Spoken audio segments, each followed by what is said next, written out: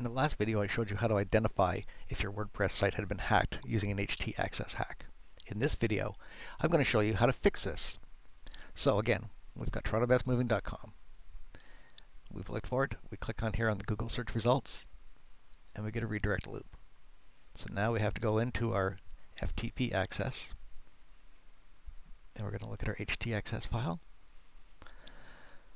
Edit. Yes, indeed, this is a dirty file. So we're going to close out of this file. And the only way to get rid of it, because we tried to, do, to edit it, is to delete it. So we're going to delete the file. Now, over here, we have htaccess.txt.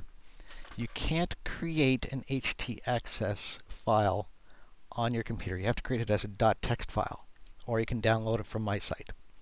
So I'm going to upload that to my FTP site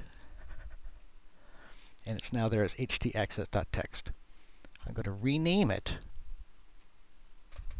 once it's up on my server as htaccess, rather dot htaccess. And there it goes, ghosty again. I'm going to just refresh that, go back here, go back to my search results, hit refresh again, Let's try this. Best moving. Still having some problems. Let's try this again. There we go.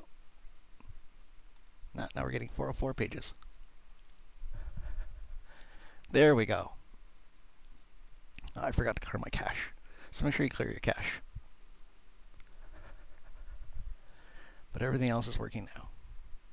TorontoBestMoving.com. So that's how you fix your site if it's been htaccess hacked. Don't forget to download the .htaccess file from my site here.